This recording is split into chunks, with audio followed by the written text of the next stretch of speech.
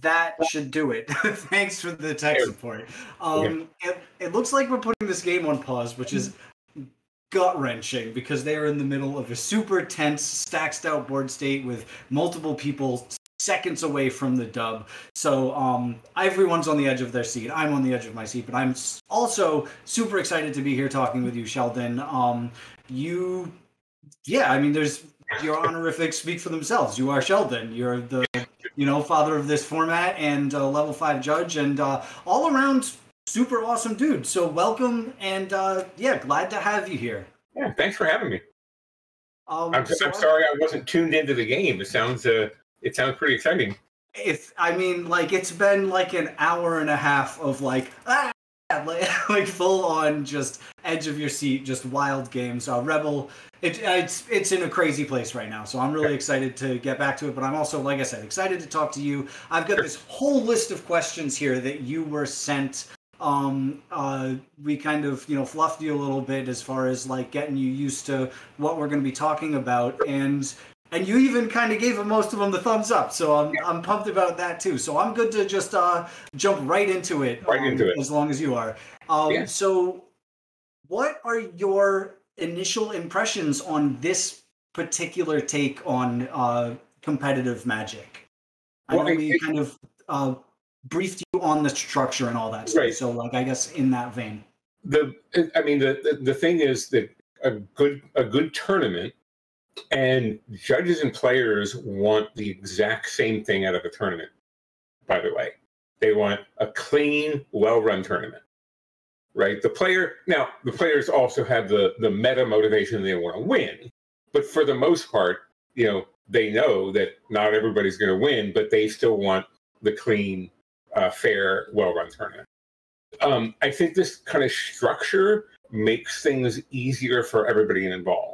Right? It's not, you know, a, a, a Magic Pro Tour can be a really grindy experience, and when you when you break up the the the, the thing into a league structure, you give the players time right? It's it doesn't become so much of an endurance contest as it as it might when you're playing back to back to back really really long days.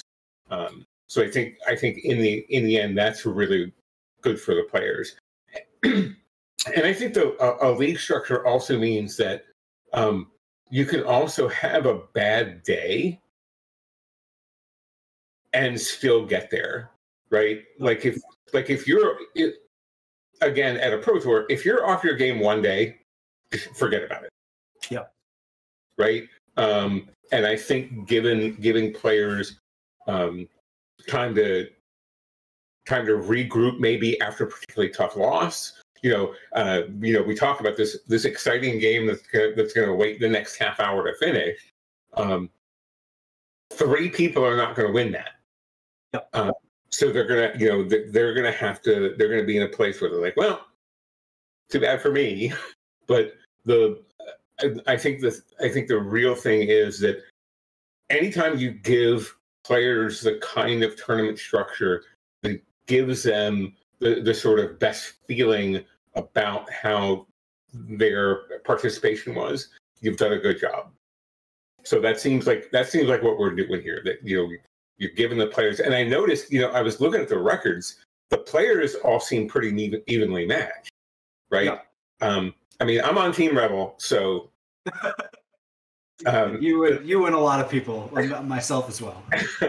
um, but the you know the the fact that there was nobody running away with anything told me a lot about how good you were at um, getting the players into these brackets. Um, Yep. And the you know the some some real thought process went into it. So I think that was that's good.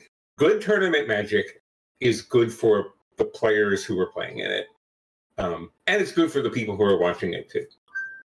I think like I, I like your point about like it being mostly even and when you look at these scores and you look and you see that there are people with this like you know, even record of like five wins, five losses, like even that starts to look like running away with it when you start to look at a larger CEDH tournament because that's an right. incredible record for a, a four person pod.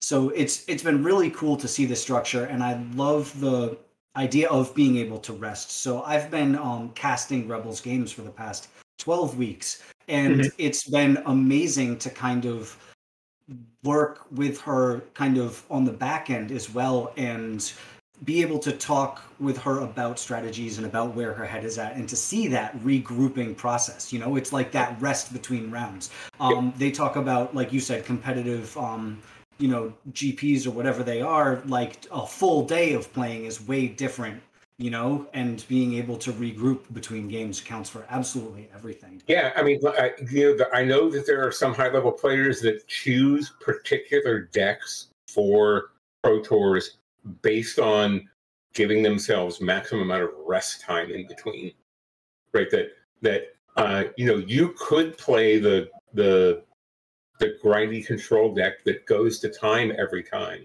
But what you do there is you don't give yourself any time in between rounds. You know you gotta go to the bathroom you gotta get a drink you have to eventually eat or whatever. And uh, you know i know there are plenty of players that like all right, I'm, I'm going to play a deck that's win or lose is going to get there in you know 30 of the 55 minutes or whatever uh, because yeah. it's better it's better for me for the, the sort of holistic sense. So um, we spoke about you being a level five judge. How does that experience uh, influence your thoughts on this sort of structure? I mean, you talked about the impact of the player. Mm-hmm. Are there any other ways that it would, um, you know, influence the way you think about this, especially in that this is with the point structure being more sports oriented, uh, uh-huh. does that kind of you know influence your thought on how this has been produced? And well, I mean, I, again, I'm going to I'm to go back to my point that the the tournament that is the the best for the players is the, is the most equitable and the one that they think it is the most fair uh, is the one. You know, if if players thought that um, three points for a win and one point for a draw was the best, but you're only giving them two for a win and one for a draw. There's going to be um, there's going to be tension between the the player and the organizer. So I yep. think the, so when the when the organizer provides the the players with the kind of structure that that resonates with them that they you know that they consider ultimately fairest there's probably no perfect tournament structure. So the the one that's that that they consider fairest, then again you you have what's internally a good tournament, and uh, and then of course the the spectators don't you know care much much less about the structure. They just care about the game. Like they yeah.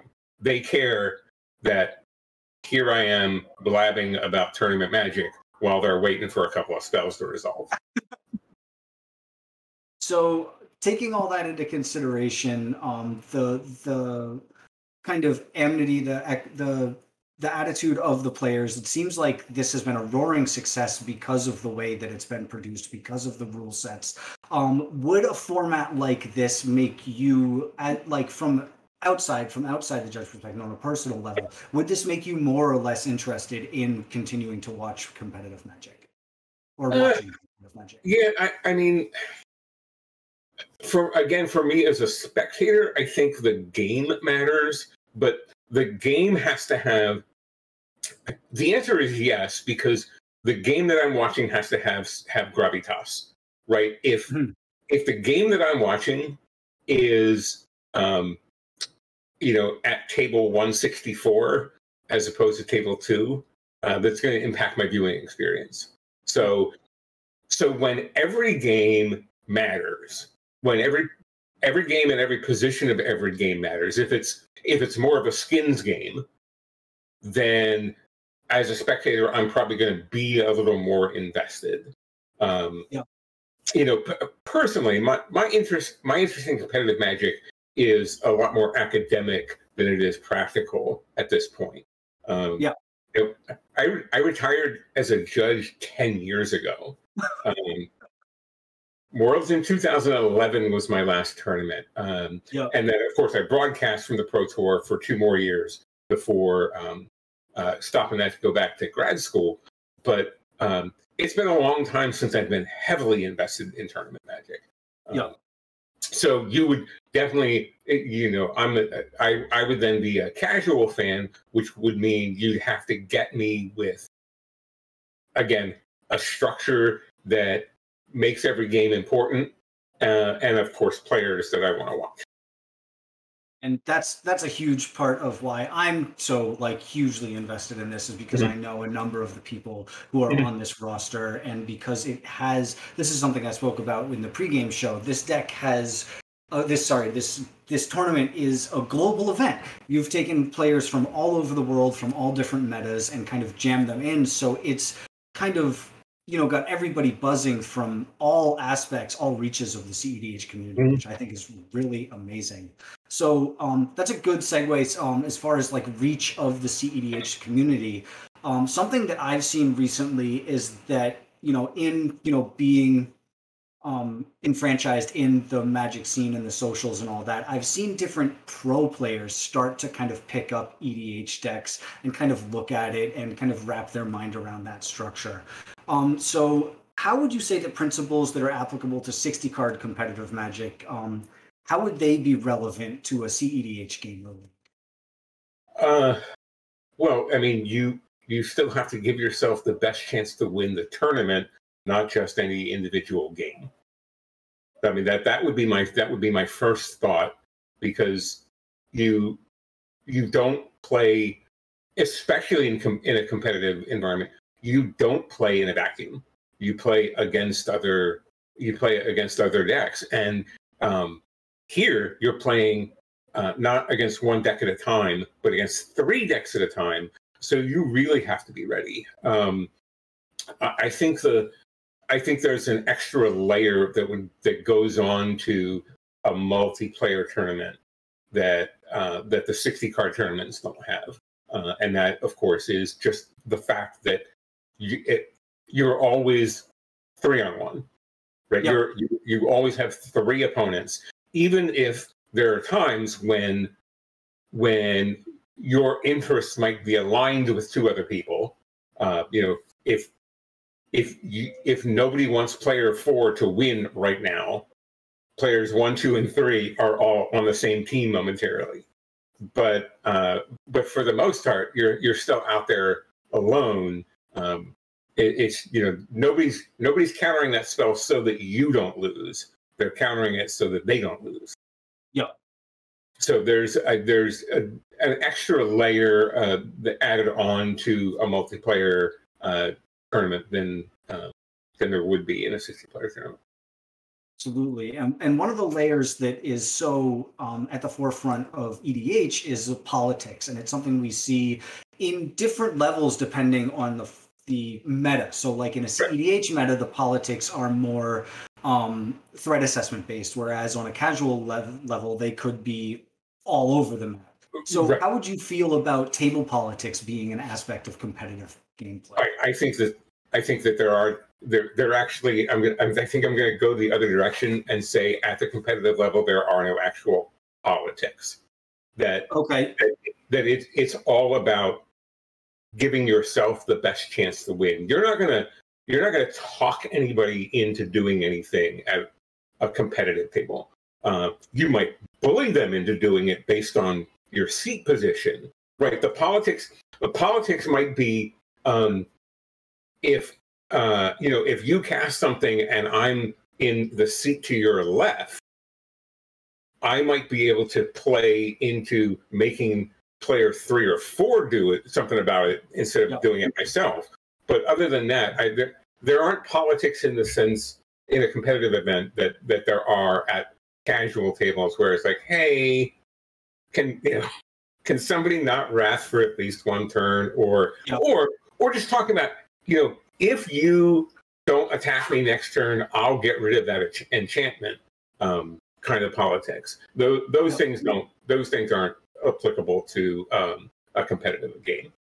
Okay, so I've I've been definitely thinking about it in the light of like threat assessment and kind of analyzing. So I guess it's you can look at them from two different lenses. That uh, analytically saying like if you guys don't do X, he's gonna win that doesn't that's not politics so much as like a game state you know yeah. so that makes a lot of sense so what would what do you think people find so attractive about CEDH specifically to kind of diverge a little bit, you know? Um, and it's a totally an interesting question for you to look at because it's kind of antithetical to the, you know, the the basically the foundations of what mm-hmm. you've made. Why would why do you think people find it so attractive? Well, I mean the the because because they I don't want to get tautological, but because they do because it's a it's a thing because it's a thing that resonates with them, right? Yeah. That that there is a there is a certain niche. Um, you know, there's a small a small part of the the whole commander player base that finds this thing attractive. They like whether they're a player themselves or just a spectator or the player spectator, you know, for the player that likes to do both.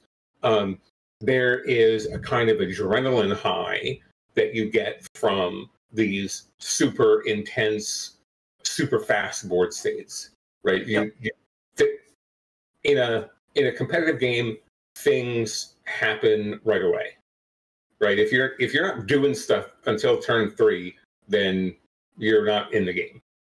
And um, uh, so for a for a subsection for a subsection of the commander um, community, that just resonates. That that the sort of um, the sort of high charge, um, now or never kind of game with with immediacy. Uh, you know, we the, the RC likes to promote commander games that that kind of slowly unwind, that are like a um, uh, like that are like more, they're more like a baseball game than okay. than a, than a competitive game is a boxing match, right? You're just in there right away, slugging it out. Uh, yep. There's no time. There's no time to step out between pitches. And uh, in um, you know, in the in the sort of target demographic of the format, um, we like to take things to take their time.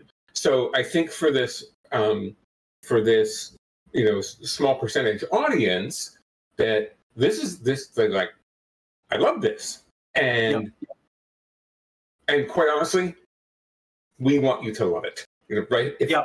if that's what you love, then then love it. Uh, it's not necessarily what what we're doing, but we're not going to stop you from doing what you want. Yep. This is the we being the the RC, kind of like the awesome. Yeah, and I've I've found so much that um that that really looking at it through that lens really does begin to kind of go back towards the foundations of it is like it's a format for people to express themselves. And if people want to express themselves by um i wouldn't i don't like to say breaking the game state but by making powerful plays or using very you know wild combos or doing things as efficiently as possible that that's a form of expression and it falls completely in line with the i think you can i think you can say breaking because because because the format's broken. I mean, we, we recognize that the format is broken. It says so in the philosophy document. It's the last line of the philosophy document says, we realize that this format can be broken and we think games yep. are better. We think games are better when you don't. Uh, yep. But again, when you get four people together who want to sit down and break it together, then great. You know, good, yep. good, good for them. Um, I don't think that hurts anybody else. Um, It's when it's when the those four those four players or you know or that you know that small group of players says well you need to make the whole thing about what we're doing that yeah. we we sometimes come to loggerheads. Absolutely. Um i'm super glad to hear that. That's awesome. Um so looking at it from like a top down perspective and from a long period of time how would you say um the growth of, and this is something I'm sure you've answered a zillion times, but how would you say the growth of CEDH has impacted the EDH as a whole, whether it's the community or the you know choices within it, rules, what like any any way you can? How would you say that CEDH has uh, impacted it? Well, I, think that the the big thing is that we realize we I it's it's caused us to think about subcommunities, right? The the and and kind of give some deep thought into not not just a particular subcommunity, but the idea of that you know the fact that that there is no global commander metagame. Uh, that yep. there's there's no um, there's no even regional or uh, necessarily local because you have people that are playing across very different play styles from the you know from the dirtiest of Durdlefest up to the the you know the fastest of the of the combo decks. So you think about that, and you have to, and we think of it makes us think about how we're going to approach serving as many people as we possibly can. The, yep. the, the problem, of course, becomes that if you if you take care of one group, you might be um, ignoring another. Uh, and I mean, I it it's also taught us a, a great deal about messaging and how some people, no matter what you say, some people are prone to uncharitable readings of what you said. And, you know, there are people in the CEDH community who get up in arms when, when we say, we're privileging this style of play. You know, this is the, yeah. the target, target demographic, the sort of casuals, the fives and the sixes. This is, this is, you know, the, the primary part of who we're looking at when we shape the commander format.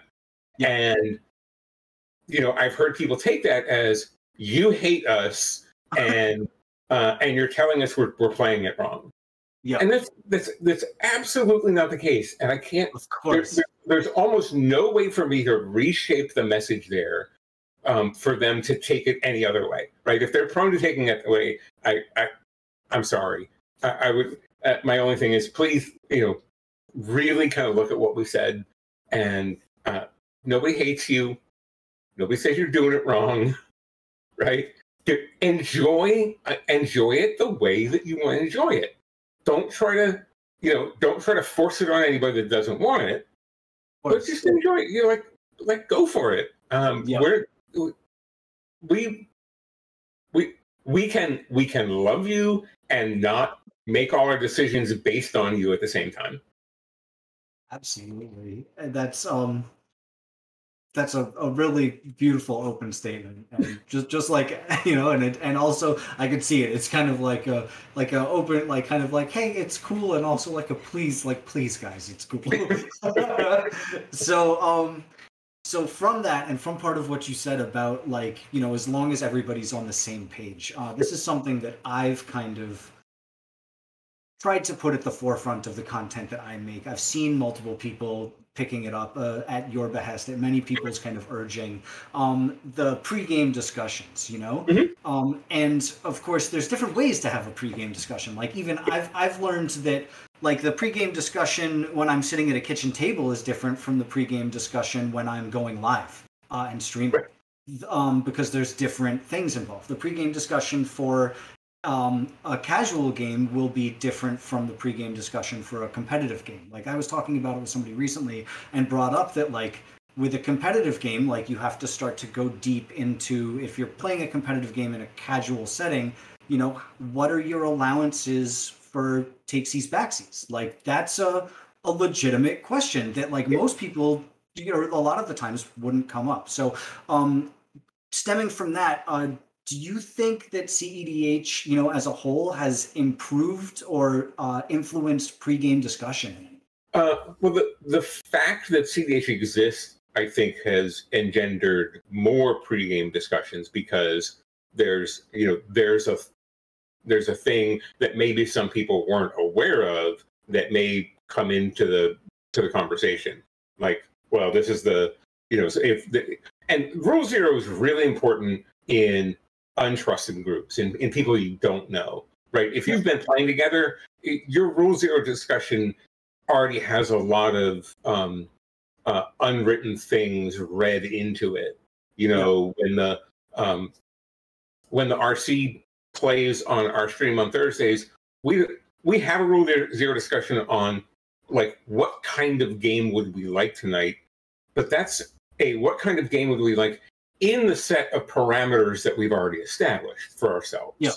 Right. We know that this is. Uh, we know that um, if we want, if one of us wants to play mass land destruction, we say, "Hey, I want to play that deck that has mass land destruction in it." You don't, you know, it's it's not it's not a surprise factor thing. And yeah. um, I mean, usually we're all like, all right, who wants to play what? And like, oh, I want to play this, and then everybody everybody picks a deck appropriate to the you know the person who's got the mood.